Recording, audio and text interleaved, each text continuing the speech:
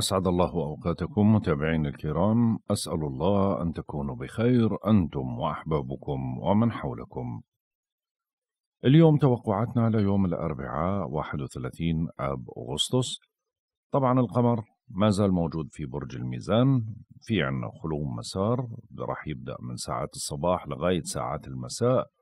بعدين القمر راح ينتقل لبرج العقرب. طبعا القمر اليوم موجود في منزلة الزبانية وهي للفساد والقطع والمشاكل وراح يمكث القمر في هاي المنزلة لغاية الساعة 9 و22 دقيقة صباحا من صباح اليوم الأربعاء. لا ينتقل بعديها القمر لمنزلة الإكليل وهي منزلة للربح والحماية والثبات والسلامة والصداقة والاستمرار الجيد. طبعا بالنسبة للمهتمين بخلو المسار للشهر القادم صارت موجودة مكتوبة في صندوق الوصف للشهر بأكمله تواجد القمر وولاة القمر واكتمال القمر و و و إلى ما لا نهاية فكل المعلومات موجودة صارت في صندوق الوصف كالمعتاد. القمر طبعا ما زال موجود في برج الميزان يعني ما بتظل هاي فترة جيدة آه، للأمور العاطفية ولتعزيز أوصار علاقة عاطفية مع الحبيب أو تحسين علاقة زوجية لها بعض التوتر. منكون اجتماعيين أكثر ومنميل للاسترخاء وبيجد الغرام متنفس لدى العشاق ولكن ممكن تلعب الغيرة دور في علاقة لم تستقر بعد. في هاي الفترة مننجح في أعمالنا الفنية وبوسعنا القيام بمشروع مشترك ويمكننا أيضا إقامة حفلة أو إعادة تزيين البيت أو المكتب أو اقتناء حاجية جميلة. بالنسبة للزوايا البطيئة طبعا أول زاوية اللي اليوم راح تبدأ تأثيراتها وهي زاوية تقابل إيجابية بين عطارد وبين المشتري. وطبعا هاي تأثيراتها من اليوم 31 8 ولغاية يوم 7 9 ذروتها يوم 3 9 الساعة 1 و49 دقيقة صباحا. وعادة عند حدوث هذا الاتصال أو الاتصال الإيجابي بين عطارد وبين المشتري بنتشجع لممارسة نشاط بيتضمن تحدي فكري. كمان هذا الاتصال بيزيد من احتمالية السفر للبعض والاتصالات البعيدة أو القريبة. أما بالنسبة للزاوية التي تليها وهي زاوية التثليث المنفصلة الإيجابية اللي كنا نذكرها في الأيام الماضية بين عطارد وبين المريخ وحكينا أنه هاي تأثيراتها لغاية يوم تسعة تسعة بيسود شعور عام بالوئام فبتسهل علينا التفاهم مع الآخرين وبتعزز العلاقات مع الأحبة. أما بالنسبة للزاوية التي تليها وهي زاوية التسديس الإيجابية بين المريخ وبين المشتري وطبعا هاي تأثيراتها راح تظل لغاية يوم خمسة تسعة طبعا إيه، بتخلق جو من التسامح وممكن إنه نتسامح مع الأشخاص اللي بيخطئوا أو أخطأوا بحقنا ومن يد العون إلهم وكمان بتدفعنا للتراجع عن أخطائنا. أما بالنسبة للزاوية التي تليها وهي ما زالت تأثيراتها موجودة وطبعا هي ما بين آه، الشمس وبين المريخ وهي تأثيراتها لغاية يوم 4 9 طبعا تأثيراتها هي من يوم 18 8 آه، هاي اللي بترفع من وتيرة المواجهات والتفجيرات وخصوصا في البؤر الساخنة. وبسود جو عام من التوتر والعدوانية يجب الحذر عند التعامل مع الآخرين لأنه ممكن أي كلمة آه، غير محسوبة إنها تؤخذ على محمل مغاير وتدخلنا في مواجهات إحنا بغنى عنها. أما دوليا فهي بتدل على أنه حكومة ما بتميل لممارسة سياسة قمعية لفرض نفوذها وسطوتها وبتدل كذلك على ازدياد أعمال العنف والعدوان وكذلك الإضرابات في قطاع الصناعة أو قطاع الصحة. أما بالنسبة للزاوية التي تليها وهي برضو من الزوايا الخطيرة وهي زاوية التربيع السلبية المنفصلة يعني ما راح تصل لمرحلة الاتصال الكامل ولكن تأثيراتها قائمة وهي ما بين زحل وما بين أورانوس وهي تأثيراتها لغاية يوم 16-11 بنصبح مندفعين في تصرفاتنا ومتمردين على كل القيم والعادات. وبرضه بتدل على تغييرات أو أزمات مفاجئة في حكومة ما واحتمال وقوع حوادث طبيعية مدمرة كالعواصف والزلازل وتقلب الجو والمناخ وسقوط الطائرات وحوادث السكة الحديد وبتدل كذلك على إضرابات واشتباكات مع السلطات بسبب تضييق الخناق على الحريات العامة. أما بالنسبة للزاوية الأخيرة من الزوايا البطيئة وهي زاوية التسديس المنفصلة اللي بين نبتون وبين بلوتو وتأثيراتها لغاية يوم 2 9 هي اللي بتسبب عودة وضعية قديمة أو شخص قديم أو علاقة قديمة أو موضوع قديم بيرجع بينفتح أو بيظهر على الساحة من جديد وهذا الوضع بيدعم من وضعنا أكثر فأكثر. أما بالنسبة للزوايا اللي اليوم راح تتشكل طبعا ثلاث زوايا هي مع القمر وعندنا خلو مسار. الزاوية الأولى هي زاوية تثليث إيجابية بدأت تأثيراتها طبعا من الآن وراح تستمر تأثيراتها لغاية ساعات الصباح. هي تثليث إيجابية بين القمر وبين زحل. ذروتها الساعة 12 و12 دقيقة بعد منتصف الليل بتوقيت غرينتش. نصبح أكثر قدرة على تنظيم شؤوننا بشكل فاعل وبتعزز لدينا الحس بالمسؤولية. أما بالنسبة للزاوية التي تليها وهي زاوية تسديس إيجابية بين القمر وبين الزهرة وهي راح تكون في تمام الساعة 6 و7 دقائق صباحا بتوقيت غرينتش يعني تأثيراتها من منتصف الليل لغاية ساعات المساء. هاي الزاوية بتأجج العاطفة اتجاه الجنس الآخر وبالتالي بننجح بتعزيز العلاقة معهم وبيعطي دفعة للعاملين في المجال الفني والتجميلي والديكور فبيتحسن عطائهم وإبداعهم. أما بالنسبة للزاوية الأخيرة قبل خلو المسار هي زاوية تربيع سلبية رح تكون بين القمر وبين بلوتو وهي رح تكون في تمام الساعة 10 و43 دقيقة صباحا بتوقيت غرينتش. طبعا هاي زاوية بتدفع بعض الأشخاص للتسلط ومحاولة فرض سيطرتهم على الآخرين ممن حولهم من الأصدقاء ومن أفراد العائلة. بعد هاي الزاوية مباشرة بيبدأ عنا خلو المسار. يعني خلو المسار رح يبدأ من الساعة 10 و 43 دقيقة صباحا بتوقيت غرينتش يعني هي قرابة ساعات الظهر وبيستمر خلو المسار لغاية الساعة 5 و10 دقائق مساء بتوقيت غرينتش. بعديها القمر بينتقل وبيستقر في العقرب. هذا بيعني إنه الفترة المذكورة ما بين الساعة 11 إلا ربع لغاية الساعة 5 و10 مساء بتوقيت غرينتش. لا تصلح للبدء بأي عمل جديد أو مهم مثل توقيع عقد أو خطوبة أو زواج أو شراء شيء ثمين بل إكمال العمل اللي بدأنا فيه قبل خلو المسار.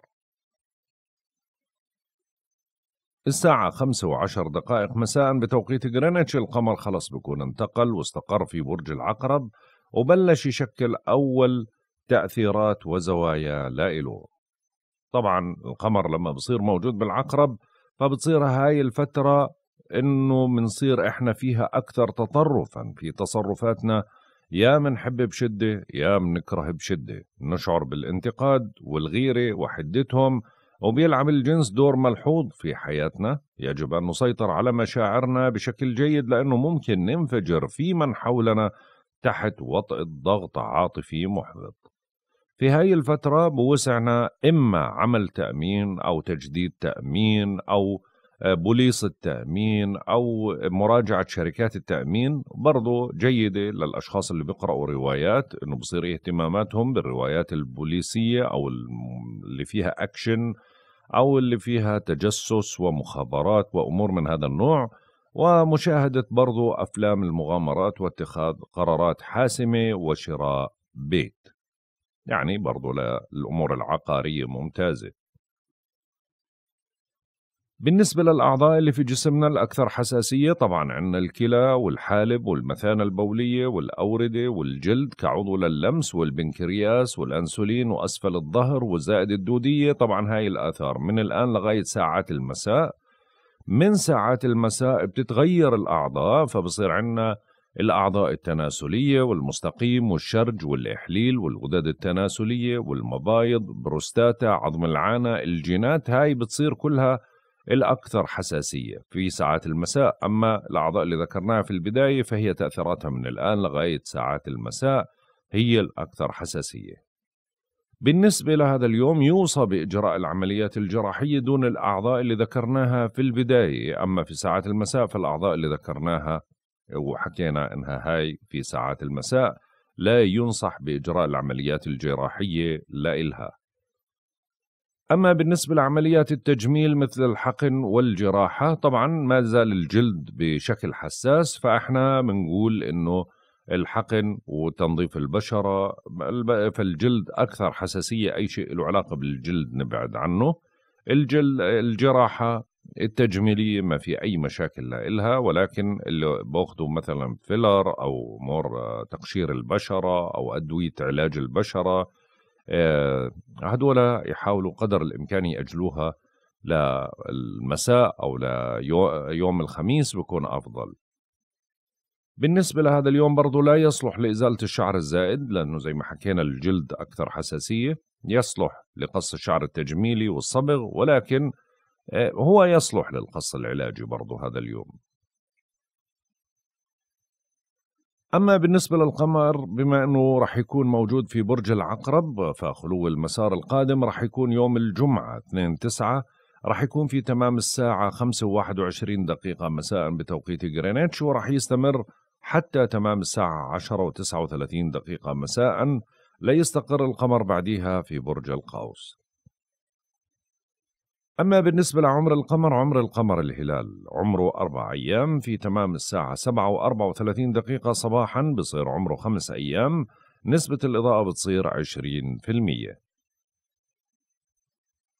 بالنسبة لمزاج الكواكب وطباع الكواكب لهذا اليوم الشمس في العذراء حتى يوم 23 تسعة طبعا هي منتحسة بنسبة 10% الآن في ساعات المساء بتصير سعيدة بنسبة 10% القمر في الميزان وبده ينتقل للعقرب في ساعات المساء وبعديها رح يضل القمر في العقرب لغاية يوم 2 9 هو الآن سعيد بنسبة 60% في ساعات الظهر لأنه في خلو مسار بتنزل نسبة السعود إلى 30% بعدين بتصير الزاوية الأخيرة اللي ذكرناها مع بلوتو وبرضه ما في زوايا أخرى فبصير يعني يعني سعيد بنسبة 15%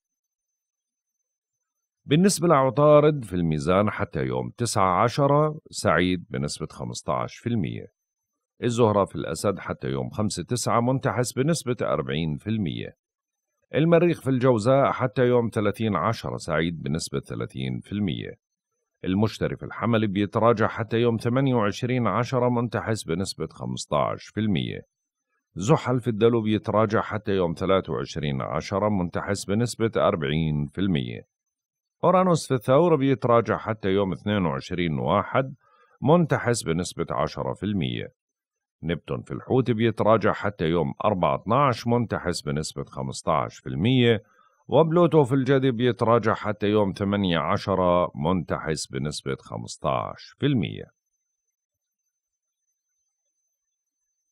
وصلنا للتوقعات اليومية.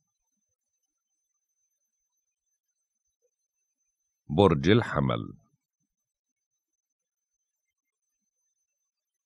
بالنسبة لمواليد برج الحمل طبعا اليوم برضو بترغبوا في تعزيز شراكاتكم سواء المالية أو العاطفية وتعزيز العلاقة مع الأزواج ولكن بدكم تحذروا الخلافات وما تضخموا الأمور. ممكن شوي تبدو مرهفين الإحساس ومتوترين بسبب قلق ما حذروا إثارة العدائية والبلابل لأنه مزاجكم متقلب وعصبيين وهذا الشيء ممكن يثير النفور للأشخاص اللي بيتعاملوا معاكم. في ساعات المساء بتنهمكم في إعادة تنظيم أموركم المالية لأنه القمر رح ينتقل للبيت الثامن فهنا حاولوا أنكم ما تهملوا صحتكم. تصبح الأجواء أكثر إيجابية وتجاوبا معكم. بتلاقي أعمالك صدى طيب. أهم شيء أنك ما تتكاسل بل سارع للعمل دون مماطلة ودون أعذار. ممكن يصير في بعض الأمور العائلية اللي تلفت انتباهك أو يعني شوي يصير لك بعض التدخلات فيها. برج الثور. بالنسبة لمواليد برج الثور طبعا بيبدأ العمل بالتراكم لديكم وعشان هيك بدكم تنتبهوا لصحتكم كمان اليوم لغاية ساعات المساء وبدكم تكونوا منظمين وتحسنوا إدارة عملكم. وحذروا من الجدال مع المعاونين وحاولوا انكم ما تهملوا صحتكم وما تأجلوا ولا تماطلوا عملكم حتى لو اضطررتوا للعمل لساعات إضافية. حاول إنك اليوم تقوم بمهامك وما تتخذ قرارات حاسمة وما تفرض تسلط على الأشخاص اللي بيتعاملوا معك. في ساعات المساء القمر راح يصير مقابلك تماما فهنا بترغبوا في تعزيز شراكاتكم وبتتعقد بعض الأمور وممكن تطرأ بعض البلبلة فعشان هيك بدك تعالج الالتباسات وسوء التفاهم بموضوعية. وحذروا من القطيعة والدعاوى القانونية بخلال الأيام القادمة لأنه خصمكم بكون قوي والعراقيل بتستفزك فبدك تضبط أعصابك على الآخر. برج الجوزاء بالنسبة لمواليد برج الجوزاء طبعا رغبتكم بالتقرب من أحبائكم بتصير في أوجها خلال هذا اليوم. بإمكانكم برضو التفاهم معهم. آه، الوضع إيجابي ورغم أنه في خلو مسار بس بنحكي لك ما تدخل بأي مواجهات أو أي خلاف معاهم. بتشعروا بالأمان والارتياح وبتغمرك العواطف الجياش اليوم. أنت جريء وباستطاعتك التعبير بطلاقة عن مشاعرك وعواطفك. في هاي الفترة. أما في ساعات المساء فهنا القمر رح ينتقل للبيت السادس فرح تجد أنه العمل بدأ يتراكم عندك من ساعات العصر. إيه، بدكم تنتبهوا لصحتكم برضو وبتجدوا أنه الأعمال بدأت تتزامن وتكثر عليك وتصعب فممكن تضطر للعمل وقت إضافي. فعشان هيك برضو بدك تهتم لعملك وعلاقتك مع زملائك وبرضو لبعض المشاكل الصحية.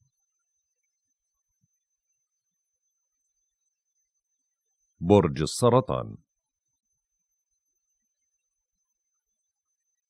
بالنسبة لمواليد برج السرطان طبعا بتفضلوا التركيز حول مصالحكم البيتية والعائلية كمان اليوم لأنه القمر ما زال موجود في البيت الرابع لغاية ساعات المساء فبدكم تحاولوا انكم تكونوا عنصر إيجابي وما تتسببوا بالنفور للأشخاص اللي بيتعاملوا معكم حاولوا أنكم تتفهموا الآخرين وتبقوا هادئين. وتحموا استقراركم وخصوصا الاستقرار الصحي أو النفسي من التراجع. ممكن تشكو من بعض التأخير في المعاملات والالتزامات وهذا الإشي طبعا بسبب خلو المسار. في ساعات المساء هون العواطف بتبلش آه، تظهر على الساحة أكثر فبتشتد رغبتكم في التقرب والتفاهم مع أحبائكم. بتفيدكم الاتصالات واللقاءات. أهم شيء إنكم تلطفوا الأجواء وتحاولوا إنكم ترجعوا العلاقات لطبيعتها. بتنالوا ما بترغبوا اليوم وبتنتصروا على كل الاعتبارات وممكن تحلوا بعض المسائل العالقة أو اللي كانت مستحيلة. تعتبر فترة إيجابية. برج الأسد بالنسبة لمواليد برج الأسد طبعا بظل النشاط مسيطر عليكم في أمور التنقلات والاتصالات والحوارات والنقاشات لكن اليوم عشان في خلو مسار في من ساعات الصباح لساعات المساء فبدكم تتكلموا بهدوء وتحاولوا انكم توضحوا وجهة نظركم تفادي لأي التباس محتمل. هاي الفترة ممتازة جدا خصوصا اللي عندهم امتحانات أو عندهم مقابلات ولكن ما يعتمدوا على الحظوظ بدهم يعتمدوا على جهدهم وخصوصا في فترة خلو المسار الخلو المسار. برضو الفترة هاي جيدة للمفاوضات وخصوصا برضو لطرح الأفكار الجريئة والمثمرة. في ساعات المساء بتفضلوا التركيز حول مصالحكم البيتية والعائلية وبوسعكم التفاهم وتعزيز العلاقة مع أفراد العائلة. أهم شيء إنكم تتجنبوا توبيخ الأحباء أو لومهم ممكن تقلقوا بشأن مسألة عائلية أو شخصية. حاولوا أنكم تواجهوا الأمر الواقع بمنطق وحاولوا إيجاد تسويات تحمي حقوقهم. أهم شيء أنه ما تفرضوا رأيكم فترة مناسبة للسفر وللاستثمار. برج العذراء بالنسبة لمواليد برج العذراء طبعا بتعيدوا ضبط ميزانيتكم. ممكن تحتاج أو يحتاج أحد أحبائكم لدعم مالي أو معنوي. حاولوا أنكم تنظموا أقساطكم وديونكم وما تستخفوا بالفواتير الصغيرة. اليوم في بعض المتطلبات المالية أو بعض الأمور المربكة بالنسبة لإلك بدكم تحذروا من المصاريف وخصوصا الاستشفائية. وبعض الأمور اللي إلها علاقة بديون والتزامات. يعني الوضع المالي ما زال هو المسيطر عليكم لغاية ساعات المساء. من ساعة المساء بتنشطوا في أمور إلها علاقة بالسفر والاتصالات الحوارات النقاشات وبيكون لكم نوع من أنواع التعامل مع أخ أو جار وبتكثر النشاطات حسب حقل اختصاصكم. بتكون لكم لقاءات عديدة وباستطاعتكم الدفاع عن حقكم والتعبير بوضوح وصراحة عن مواقفكم. أهم شيء إنكم ما تترددوا بالتحرك وحاولوا تستغلوا كل الفرص. برج الميزان. بالنسبة لمواليد برج الميزان بيطرأ تغيير للأفضل على صحتكم. آه، اليوم أكثر نشاط وحيوية عندكم وممكن تجدوا حلول لبعض المشاكل. وبتكونوا يعني منطلقين بطاقة عالية جدا. آه، بتقدروا اليوم برضو تصححوا كل الأخطاء بتتغير نظرتكم للحياة وممكن آه، تحضير لتغيير نمط أو أسلوب معين في حياتكم. آه، بتبدو متفائل وسعيد جدا اليوم في ساعات المساء. الأجواء راح تركز على الأمور المالية بتعيدوا ضبط ميزانيتكم. أهم شيء إنكم ما تتهربوا من تقديم المساعدة لقريب أو حبيب وما تبالغوا بمصاريفكم. بدكم تكونوا معتدلين وموضوعيين في النقاش والمساومة وممكن تهتموا لأمور مالية أو أمور استشفائية خلال ساعات المساء. برج العقرب بالنسبة لمواليد برج العقرب طبعا القمر ما زال موجود في بيت متاعبكم فعشان هيك من الآن لغاية ساعات المساء بدكم تنتبهوا لصحتكم. ممكن ما تجد آه، أو آه، تجد نفسك في موقف صعب أو بدك تكون حذر وحكيم وتحذر من الكلام السيء حذر من التراجع الصحي. ما زالت الأجواء فاشلة ومخيبة للآمال وتعتبر فترة صعبة دائما بتمر لما القمر بصير في بيت المتاعب. لغاية ساعات المساء طبعا راح يتغير الوضع آه، للأفضل على صحتكم ونفسيتكم. تستعيد حماستك وبتنهمك بإدخال تعديلات أو تغييرات على روتينك أو على مظهرك. بتقوى نسبة نجاحك بتشتد عزيمتك وممكن تنقلب المعطيات من تلقاء ذاتها لصالحك في كثير من الأمور. برج القوس. بالنسبة لمواليد برج القوس طبعا بظل النشاط الاجتماعي هو اللي ظاهر على الساحة فممكن تلتقوا الأصدقاء برضو اليوم وتتلقوا عرض أو تجدوا نفسكم في موقع مهم. أهم شيء أنك تكون عند حسن الظن آه، تجنب الانفعال والقرارات المرتجلة لأنه القمر بيتجه باتجاه بيت متاعبك وبرضه في نفس اللحظة في خلو مسار. فعشان هيك بدك القرارات المرتجلة والتصرفات العدائية هدول بدك تحذر منهم وبرضه بدك تحذر من التسرع والسيطرة على الأشخاص اللي بيتعاملوا معك. في ساعات المساء بدكم تنتبهوا أكثر لصحتكم لأنه القمر بصير موجود في بيت المتاعب. أهم شيء أنه خلال اليومين القادمات لغاية يوم آه، يعني آه، يوم الأربعاء حاولوا إنكم ما توقعوا على عقد ما تبدأوا عمل جديد لأنها هاي فترة فارغة من الحظ لغاية يوم الجمعة عفوا. حاولوا إنكم ما توقعوا على عقد ما تبدأوا عمل جديد لأنها فترة فارغة من الحظ. حللوا الأمور بهدوء وابتعدوا عن الأضواء وحاولوا أنكم ما تقرروا على شيء عشان ما تخيب آمالكم وحذروا من البلبلة والالتباسات. برج الجدي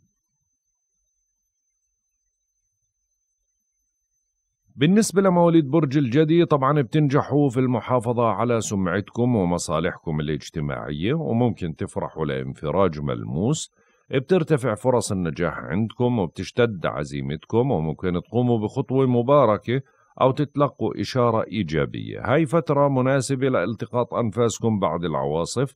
هاي فترة آه، بتظلها فيها بعض الشيء لصالحكم ولكن في المقابل حاولوا أنكم ما تغامروا ما تجازفوا لأنه برضو القمر ما زال في بيت السمعة وعندكم خلو مسار طويل. أما في ساعات المساء بتلتقوا الأصدقاء وبامكانكم انكم تبادروا لملاقاه الآخرين في منتصف الطريق. ممكن يتوجه لكم دعوه لحضور حفل أو مناسبة. وبيطمئن بالكم لأنه ممكن اليوم تجدوا حليف يدعم تصوراتكم. أهم إشي أنه ما تستسلموا. حاولوا برضو أنكم تكرروا المحاولة في الأمور اللي كان صعب باليومين الماضيين تحققوها. ممكن اليوم من ساعة المساء تزبط معكم. برج الدلو بالنسبة لمواليد برج الدلو طبعا بتنشغلوا في أمور لها علاقة بالسفر والاتصالات البعيدة والحوارات والنقاشات وبإمكانك برضو أنك تطلب رأي الشريك قبل التمسك بقرارك. ممكن تنشغل بمسائل مالية وبعض الهموم اللي ممكن يكون منها يا صحي يا عائلي. باستطاعتكم بحث موضوع بيتعلق بقرض أو تمويل أهم شيء إنك ما تفصل ما ما تهمل التفاصيل الدقيقة. الأجواء ما زالت جيدة على مستوى العلاقات مع الأجانب والأوراق القانونية والمعاملات ولكن في ساعات خلو المسار ممكن تصعب الأمور. وبرضو انتبه أثناء قيادتك للسيارة أو أثناء سفرك. في ساعات المساء بتنجحوا في المحافظة على سمعتكم ومصالحكم الاجتماعية. وممكن تخضعوا لعدة تجارب مهمة. أهم شيء ما تضعفوا ما تجازفوا بسمعتكم. حاولوا أنكم تقوموا بواجباتكم على أحسن ما يمكن وقدموا أفضل المستطاع. ولكن بتضل هالفترة هاي بتحمل نوع من أنواع القلق والتوتر لأنه القمر رح ينتقل لبيت السمعة. فلا تجازفوا ولا تغامروا زي ما حكينا. برج الحوت بالنسبة لمواليد برج الحوت طبعا بتنهمكم في إعادة تنظيم أموركم المالية. بظل الأجواء لها علاقة بالوضع المالي. أهم إشي إنكم تحذروا من توجيه كلام جارح أو نابي أو بغير محله لأيا كان. ممكن اليوم تواجه خصم شرس أو تشتد المنافسة بينكم. أهم شيء إنه ما تخالفوا القوانين عشان ما تصير أنت المدان وتتحمل مسؤولية صعبة. وخصوصا ما تغامر بالأمور المالية. في ساعات المساء بتنشغلوا في أمور إلها علاقة بالسفر والاتصالات البعيدة لأنه القمر رح يصير في البيت التاسع يعني برج حليف لإلكم. فبصير هذا يوم مناسب وخصوصا من ساعات المساء. بتدخلوا على فترة ممتازة جدا مناسبة لإجراء مقابلة أو اجتياز امتحان أو سفر أو أوراق ومعاملات سفر. ممكن تبدأوا عمل أو دراسة جديدة أو تناقشوا آه، أي موضوع بقوة وعندكم ذكاء عالي ورح تتجرؤوا على رفض أي شيء ما بيناسبكم أهم شيء إنكم ما تخشوا شيء بل ثقوا بأنفسكم أكثر. هاي فترة مناسبة لخوض تجربة جديدة وبعض مواليد آه، برج الحوت ممكن يكون عندهم بعض الأمور اللي بتتعلق بسفر. هيك بنكون انتهينا من توقعاتنا لهذا اليوم. والله أعلم. يا رضا الله ورضا الوالدين سبحانك اللهم وبحمدك أشهد أن لا إله إلا أنت. أستغفرك وأتوب إليك. أترككم في رعاية الله وحفظه. إلى اللقاء.